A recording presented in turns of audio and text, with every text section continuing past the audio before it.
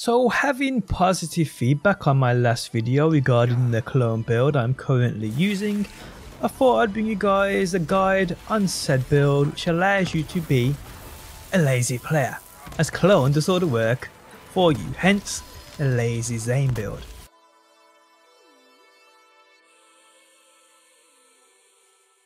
How's it going guys, my name is DPJ and today I'll bring you another BL3 video. If you do enjoy it, leaving a like really helps out and subscribe if you do want to see more. So the Digiclone received a nasty buff which allows you to just destroy things. It makes it for the most part an action skill you can leave be and it melts enemies where you go and do other things, it's that good. Now I've seen a couple of builds based on this new Digiclone and all seem equally great but they are built up completely different to how I prefer to play the game. Now my current build is the Winter Soldier, and I built this on the basis of being an all-round build. I didn't want a build what I didn't have to change up going into certain aspects of the game, maybe besides the shield and maybe grenade. And I wanted the same thing for this build, I wanted to create something I didn't have to change up to do something else besides boss mounting, and that's what I have built. A Zane build which uses all trees. Keep an amazing damage output for Zane, but at the same time brings the clone into play and allows the clone to be capable of much much more. Now I will state, I'm currently still playing on PC, but I will be going back to Xbox soon.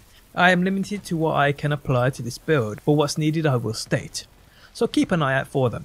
A few things that may be worth noting and remembering for future reference is weapons with anointments on don't seem to apply to the Digiclone. So when the clone itself is using your currently equipped weapon, the anointments on said weapon don't affect the clone. So let's get into the build.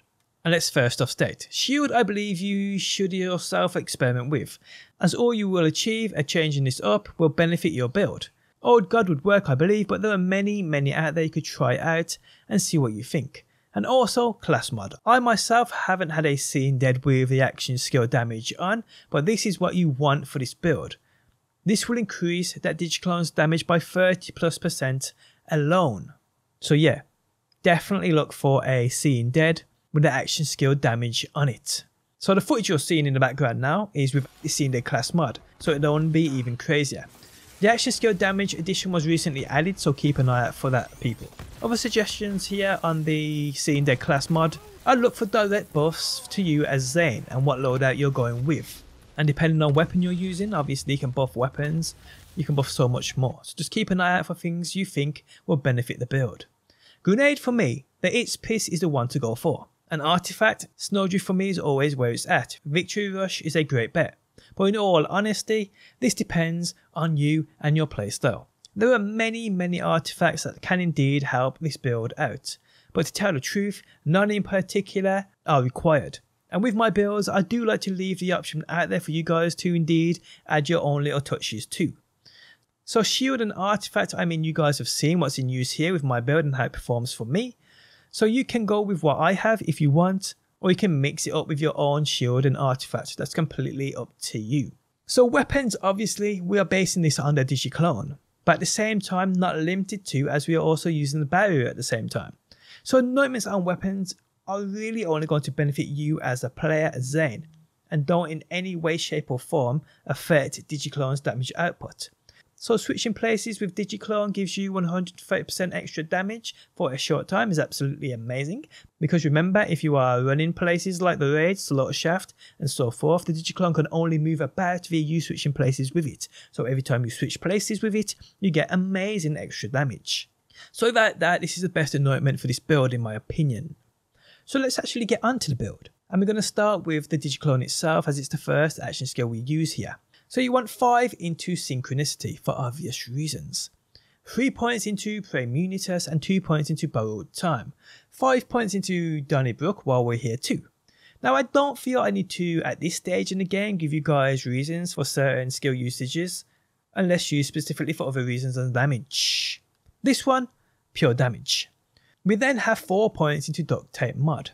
Now this is to trigger the anointment on Its Piss, and at the same time its unique ability as with this setup, we use both action skills, so we won't be throwing grenades. We then have Quick Breather selected, and this comes in handy for sure. Stupid handy. We then have one point into pocket full of grenades. This is a must in regenerating grenades as you're using that boom enhance. Those grenades quickly deplete, so we need a way in regenerating them. One here though does just fine. We then have three points into Supersonic Man. Remember this is built for all round usage. So yeah, we are making the Digiclone as powerful as possible using the three trees, but at the same time we want Zane to be equally as powerful. So if you choose to, you can lay down damage at the same time. And we obviously then people use Boom Enhance, which just helps absolutely tremendously and truly optimizes damage output for that clone. And finally on the Digiclone skill tree we have Double Barrel. This, when the clone is obviously spawned in, will spawn in with a copy of Zane's currently equipped weapon, which is super important for damage output, so keep this in mind. Obviously, the better the weapon, the more damage the weapon offers, like the OPQ system uh, and other weapons I discuss at the end of the video, which are more efficient with the Digiclone. This is super important, like I said, for damage output for the Digiclone. So this is a must, obviously, on this build. Digiclone is used in action skill slot 1 like I said with the augments of binary system and this here. Now I won't even begin to pretend how this is pronounced. Okay so on to the barrier, which we use for action skill slot 2. 5 points into adrenaline and 5 points into brain freeze, and competent competence selected at the same time. Augments we use here are nanites or some shite and all rounder. So on to the third tree of Sentinel. This tree mainly is in use to buff Zane as a player, as you play. So 5 points into violent speed and 5 points into violent momentum. Speed equals damage people. 1 point into salvation which is more than enough as when you play them higher mayhem levels. A couple of bullets deal way more than enough damage to regen your health. 3 points into cool hand which gives you extra reload speed with death follows close selected. 2 points into violent violence and 3 points into playing dirty. We finally good misfortune selected with 1 point here which when paired with the Seeing Dead class mod, U plus the Digiclone shooting is more than enough to keep those action skills going, while damage output is needed. Now like I said with this build, it's meant for all round usage, but at the same time, you can be lazy in those boss fights, as the damage output the clone does is more than enough for you to take a back seat and just watch the fun, hence why I called it the lazy Zane build, it allows you to indeed be lazy for sure. Weapons besides anointments I spoke about, obviously not everything is super efficient with a clone, so here it's up to you to test the millions on offer from the loot pool. Obviously the usual crazy powerful weapons will be fine, but if I'm honest, currently on PC I don't have access to my Xbox stash, so I might do an update video on what weapons work best with this build. In the clips you are seeing now where everything's being mounted, the beacon, the OPQ system, the Complex Root, all melt everything. But there are hundreds more to play with people and test with this build. So yeah guys, I do hope people out there looking for a decent Digiclone build enjoy this. It is an absolutely crazy powerful build now and I'm so glad Gearbox buffed that Digiclone. It makes for experimenting a whole heap more fun. Also guys, if you are new to Borderlands and you do want to join a great community where people trade uh, whatever you want or platforms, do join my Discord linked within the video description. But on that note, we have come to the end of the video. If you guys enjoyed it, leaving a like really helps out. If you're new around here and want to see more Borderlands, be sure to subscribe. And if you never want to miss a video I upload, you can turn notifications on by hitting that bell button. But guys, thanks as always for stopping by. Hopefully you do enjoy the video and hopefully I will see you on that next one.